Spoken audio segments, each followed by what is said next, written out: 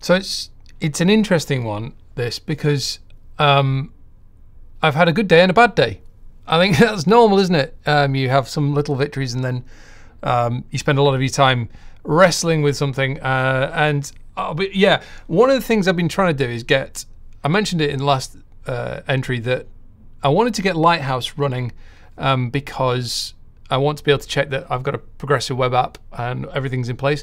And I know that it works, um, but the problem was I wanted to push to Travis, and every time I push to Travis it to do the thing.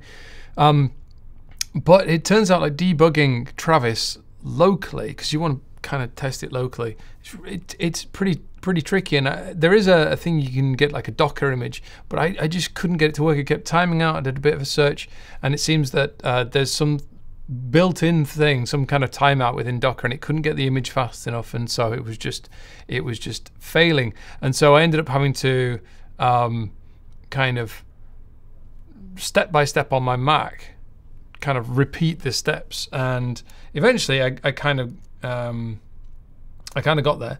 Um, let me just switch across and you can actually see. Basically, most of it was actually okay. It turns out, like most of this actually came from the Lighthouse Travis YAML, which I just updated. The thing is, is it's this little bit here where it actually downloads a version of Chrome. Because on what you want to do is you want you run Chrome um, against a, a virtual display, which is what these two lines do.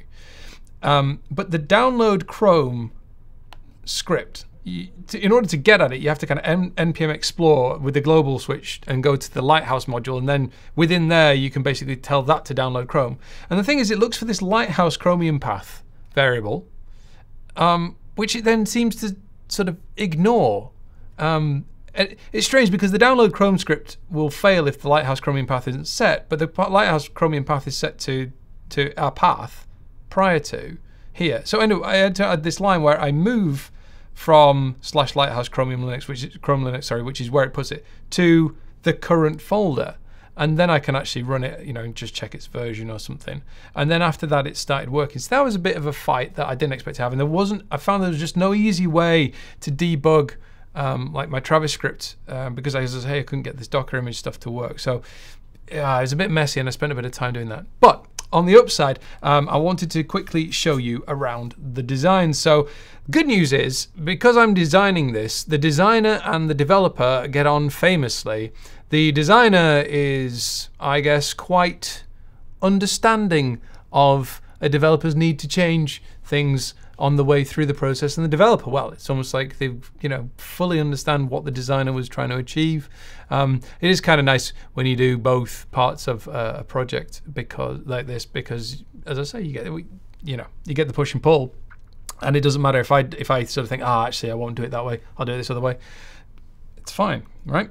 Um, anyway, so the mocks, I've, I've got some mocks. So I did some wireframes and I did some mocks and, uh, and all sorts of stuff like that. Um, let me show you the home page. I'll pop that onto Chrome there. So this is kind of what it looks like. Now, um, actually, if we do Chrome Dev Summit, uh, I did, I did, I built this, and I kind of, I wanted to take this idea on. I liked this sort of uh, slightly angular looking patterns and shapes, but I've kind of felt on balance when I looked back at this that it was kind of um, the colors were.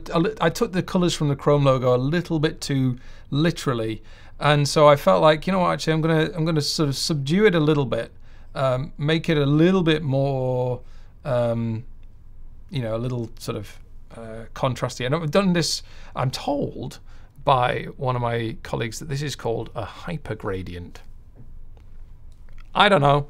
Um, basically, all it is is like a desaturate the image, bump up the contrast, and then pop a gradient over the top with like a hard light transfer mode, and you get this kind of look. Now, I could probably build this with CSS blend modes, but they're not well enough supported. So I am almost certainly going to do these as actual images like this.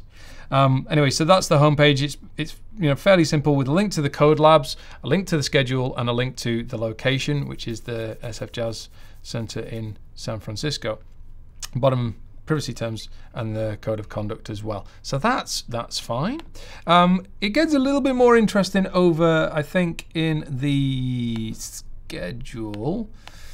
Similar kind of header, masthead header, and then on, down here I've kind of got um, the the session information. And I, to be super clear, the session information is placeholder, hence the the kind of Lorem Ipsum kind of text there. This is actually the content from two years ago. I just kind of copy pasted the, the content and the times and everything else. So uh, this isn't me telling you what's going to be at, at Chrome Dev Summit because I have no idea. Uh, but I wanted something that was a little bit more realistic rather than total lorem ipsum everywhere. Same kind of masthead.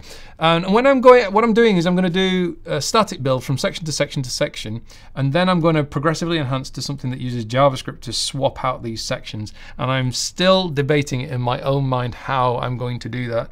I feel like maybe um, I'm gonna. Um, do something where things shift up and down, as in the image fades out and there's this yellow, this kind of yellow strip at the back here. I'm thinking that might move up and down because when you look at, um, for example, the the live page, um, you can see the video player here with the session going on, and then this is kind of actually it's that little yellow strip, but it's kind of slid down and made way for what's live now, um, which apparently me, Jake arguing uh, over minutiae. He does that so well.